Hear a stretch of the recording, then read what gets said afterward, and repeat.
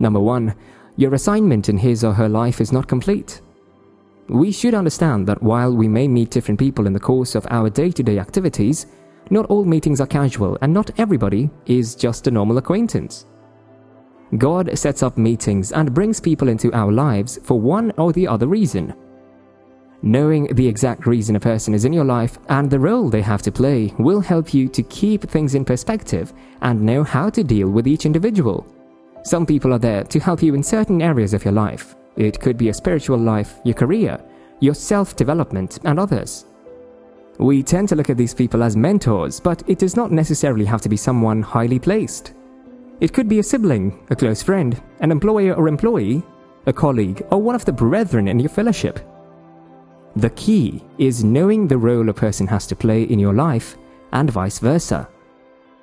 If you are the one trying to effect a change in that person's life or see that they become better, then you should know ahead of time that the change you desire to see in that person's life would not happen overnight or automatically.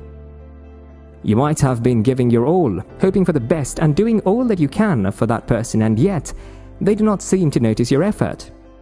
As frustrating and tiring as it might be, you should not give up on that person.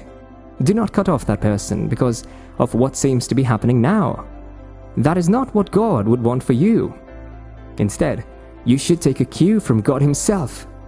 Despite the several times that He has stretched forth His loving arms towards mankind, we keep falling short of His glory and many keep rejecting His love and the sacrifice that He made. But that does not stop Him. He does not cut us off because we sin. He just keeps admonishing us and calling us to Himself through the help of the Holy Spirit. If He ever decides to give up on us, we would be nowhere to be found. You have an assignment to fulfill in that person's life, and until it is complete, do not chase them away. Keep on trusting that the change you desire or the fruits that you hope to see will spring forth someday. You are where you are now because someone decided not to give up on you. In the same way, take it as a trust and a charge that you will not give up on that person or cut them off. Number two, they might be the source to your breakthrough. As humans, we have every tendency to be short sighted and see things only as they appear in the present. But with the help of God, through the Holy Spirit in our lives, we can see ahead or at least receive direction that would guide us into making the right decisions for the future when we have been hurt or offended, or things do not go the way we hope they would. We can easily make decisions that seem right at the moment but could have future consequences. Nobody is perfect, no matter how anointed or special they may seem to be. As humans, we have a natural tendency to make errors and step on each other's toes. So, you do not expect to have a perfect friend, partner, colleague, or a parent. As a matter of fact, we're supposed to give space for offenses because they would rise whether we like it or not. The fact that your parents offend you does not stop them from being your parent, and cutting them off would only bring you greater loss. As stated earlier, everyone in your life is there for a particular purpose. While some are there to build you, some are equally there to connect you to your blessings. It is important that you do not look at anybody as unimportant and decide to let them go based on that perspective. That person may not look like it now, but if God is asking you to hold on, then just hold on. The prodigal son cut himself off his father and later came to regret it when he had spent all that he had in a strange land. However, he came back to his senses and went back to his father, who accepted him and welcomed him back with a feast. Another story in the scripture is that of Ruth and Naomi. Naomi was a widow and was returning from the land of Moab to Israel empty handed. It would be the most natural thing to want to cut off such a person who had such a history of tragedy trailing her, but Ruth did not let go. And we saw where that led her to the purpose and plan of God for her life. Before you make a clean break and decide to move on, think about it well. But even more than thinking, allow God to lead you and help you make a decision. God will never ask you to stay with someone who is toxic in your life or who will lead you to your downfall. So, if He is asking you not to cut off of someone, then it's for your own good and for a greater purpose that will only play out if you stick to God's plan. Number three, you need each other. According to the law of the systems, a part can never make up the whole. We all need each other, and that is one of the reasons the Lord made the church as a body. Just as the eye cannot decide to stay on its own, or the leg decide to do without the rest of the body, so also we cannot do without each other. As believers, we are brothers and sisters, members of a single family. And family never gives up on each other. No matter what the person has done or the offense they have committed, you cannot afford to cut them off. It's like cutting off a part of you, and that will only lead to hurt and pain on both sides. That person might not be acting like they need you or want you at the moment, but the truth is, they do.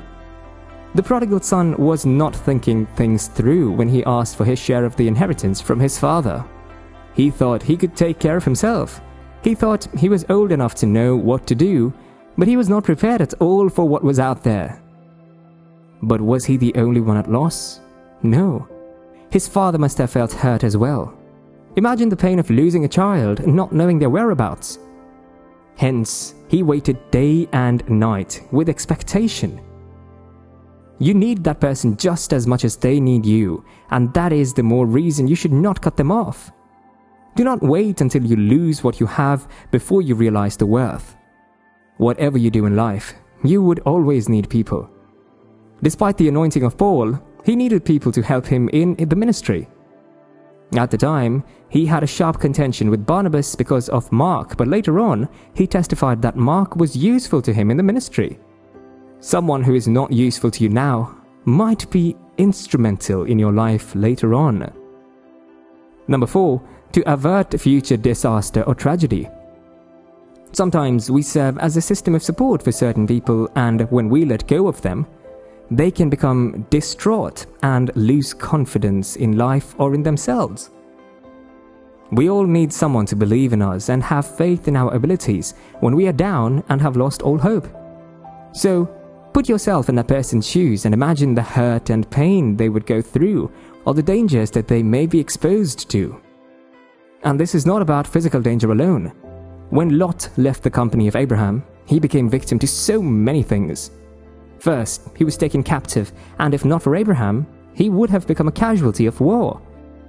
At another instance, he would have been destroyed together with the inhabitants of Sodom and Gomorrah, but his relationship with Abraham and with God kept him. So many things could go wrong when you cut off someone from your life, and you might later come to regret your action. Rather than regret your actions, just choose instead to hold on to that person and stand by them no matter the circumstances. God has a plan and a purpose in all of it. So, let that be at the back of your mind. Besides, you lose nothing by helping others. Number 5. It is exemplary of God's love. Finally, love according to 1 Corinthians chapter 13 never gives up. It hopes for the best, expects the best, and bears up under any condition. Just in the way that God never cuts us off, He expects us to do the same with people around us. When you still care for people despite their wrongs or their conditions, it goes a long way to show that there is good in the world and it expresses love much more than words could ever do. Love can melt the hardest of heart and convert even the most hardened criminal. It's what God expects of us as believers. If not for any other reason, do it because God asks you to.